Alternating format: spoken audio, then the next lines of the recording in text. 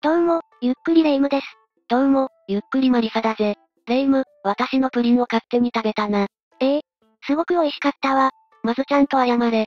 反省してるのか？もちろん反省してるわよ。ごめんなさい。全然反省しているように見えないが、とりあえず許してやるぜ。やったわ。とりあえず謝ってみるものね。やっぱり口先だけか。まあプリンはまた買えばいいが、殺人未遂で逮捕されて、出所してから、わずか2週間足らずの間に殺人を犯した犯罪者もいるからな。そんな人間がいるの？怖すぎるわ。ああ。犯人は反省したふりをしていたってことだ。どんな事件だったのかしら？それじゃあ、今回は、福岡の保育士殺害事件について解説していくぜ。それでは、ゆっくりしていってね。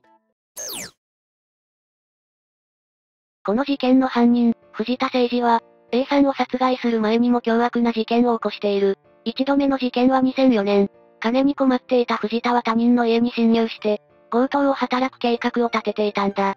お金に困って普通に働くんじゃなくて、盗みの計画を立てるなんて考えられないわね。その通りだ。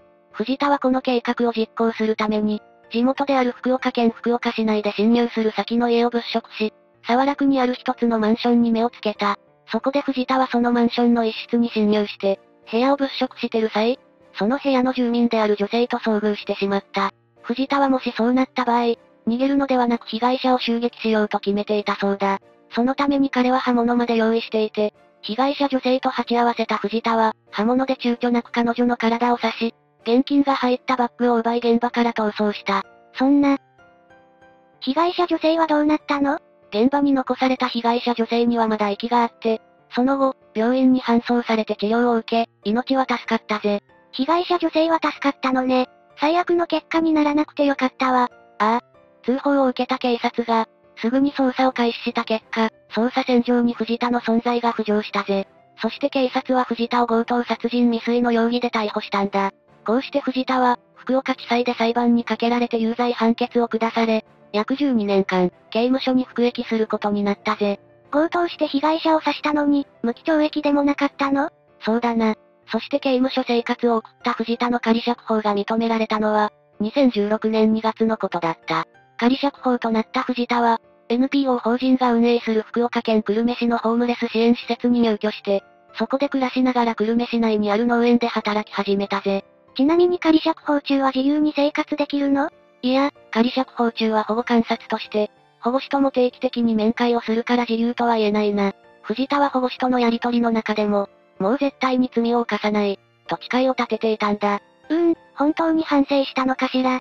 実際、藤田は農園で真面目に働く姿を見せていたんだ。役員は真っ黒に日焼けするまで頑張っている、と証言していたしな。だが、刑期満了が近づくにつれて、藤田の様子がおかしくなっていくんだ。どんな風におかしくなったの？真面目に生活していたはずの藤田が、施設の相談員に対して暴言を吐くようになった。そして人を怪我させるくらい大したことない、と再犯を匂わせるような発言もするようになった。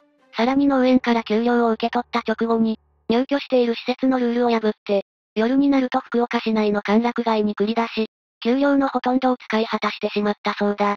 ちなみに無断外泊もしていたようだぜ。あくまで保護観察中のみでしょ？保護士は何も言わなかったのかしら？藤田は保護士にこの行動を咎められると、我慢の限界だった。遊びに行かないと頭がおかしくなりそうだった。と言い訳をしてたぜ。信じられないわ。反省なんかしていないわよ。そして藤田は、自分の置かれた環境について、自分にはこの仕事は合わない。共同生活は嫌だ。と文句も言うようになった。物騒なことを言ったり、施設のルールを破った藤田は、仮釈放期間が終わる前日の10月1日に農園の仕事を辞めたぜ。こうして10月2日に刑期を終えると、すぐに施設を出て行ったんだ。行く当てなんてあるの？とりあえず藤田は、久留米市内にある、建設会社で住み込みでの仕事を始めた。こうして12年越しの社会復帰に踏み出したんだが、この建設会社での仕事は、1週間ほどしか続かなかったようだ。ちなみにこの12年前の事件については、ニュースなどでは軽く報道されているが、詳細は伏せられていて、ネットで検索しても全く情報は出てこないぜ。じゃあ詳細についてはわからないままになっているの？ああ。2004年に起きた事件だから、ネットで記事が出てきてもおかしくない年代だ。検索しても事件の内容が出てこないなんておかしいわね。このことについては後で詳しく述べるぜ。そして藤田は、10月12日に無断で会社に来なくなり、インターネットカフェで寝泊まりするようになった。ネットカフェに寝泊まりするお金はあったのかしらそれがこの時点で藤田は貯金もほとんどなく、そのことで頭を悩ませるようになり、藤田はお金がなくなったらまた窃盗しよう、と思いついたんだ。お金が尽きたから罪を犯そうとしたの ?12 年も刑務所にいたのに、考えは変わらなかったのね。その通りだ。藤田は前回同様、盗みに入る家の下見をするために、福岡市南区内をうろつくようになる。そこで後に事件の被害者となる、当時28歳の A さんと目が合ったんだ。A さんはアパートで一人暮らしをしながら、保育士として働いていた。藤田は、そんな A さんの自宅に目をつけたんだ。A さんは20歳から、母親と同じ保育士として、仕事に取り組んでいた真面目な女性だったぜ。ひどいわ。しかも抵抗できなさそうな女性を狙うなんて最悪よ。そうだな。藤田は事件直前に、NPO 法人のメンバーにアパートを借りたいと話し、預けていた現金約9万5千円を受け取った。お金を受け取った翌15日には、NPO 法人のメンバーと共に入居先のアパートを探していく中で、いい物件が見つかり、契約直前まで話が進んでいたんだ。うーん、入居はできても、お金がないなら生活はままならないと思うけど。その通りだ。藤田は NPO 法人のメンバーと別れた後に福岡市へと移動したんだが、その日には犯行に及ぼうと決めていた。え？え物件探しは嘘だったっていうこと？お金がないのにアパートを借りようとしていたから、その可能性は極めて高いとされているぜ。藤田は、凶器として使用する包丁と、スコップなどの道具を100円ショップで購入したんだが、包丁を買う際には、店員に対して、この包丁は野菜を切ってもすぐにくっつかないか、と尋ねたようだ。怖すぎるわ。店員も事件を知った時には青ざめたでしょうね。しかも藤田は笑顔を浮かべていたそうで、店員はこれから罪を犯すようには見えなかったと証言しているぜ。普通、笑顔で凶器を購入するなんて思わないもの。だがこの時には、すでに犯行が行われようとしていたんだ。こうして凶器を手に入れた藤田は、A さんが住む、アパートに向かい、午後6時半頃に到着した。A さんの自宅はアパートの2階だったんだが、藤田は2階によじ登り、A さんの自宅のベランダに侵入した。1階に住むのは危険だと言われているけど、2階も安全だとは言い切れないわね。2階以上でも、配管などから登ってくる危険性があるんだぜ。ちなみに昨年の福岡県内の侵入等被害のうち、2階以上の被害が4割近くを占めているんだ。どうして2階以上が狙われやすいの？上層階は外部から目につきにくく、逆に狙われやすいからだ。そして藤田は購入したスコップを使い、窓ガラスを叩き割った。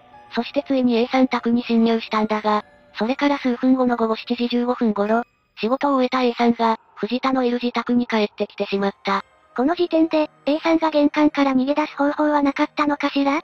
藤田はベランダから侵入したために、玄関の扉からの異変に気づいておらず、それは A さんも同じだったぜ。まさか自宅に不審者がいるなんて思わず、警戒することもないままドアを開けてしまったんだ。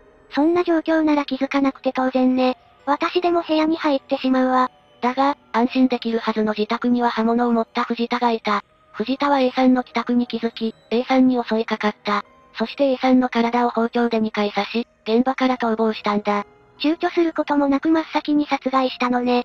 許せないわ。その直後、A さんの助けを求める声を聞いた近隣住民の男性が、現場の様子を見に来て、血を流しながら倒れている A さんを発見した。男性はすぐに119番に通報して、若い女性が刃物で刺されている、と説明した。この通報を受けた救急隊は、現場に急行して A さんを病院に緊急搬送したんだ。この時点で A さんは意識不明の重体だった。搬送先の病院で治療を受け、なんとか一命は取り留めたが、予断は許されない状況だったそうだ。そうだったのね。でも一命を取り留められてよかったわ。この事件を知った福岡県警は、本件を殺人未遂事件としてすぐに捜査を開始したぜ。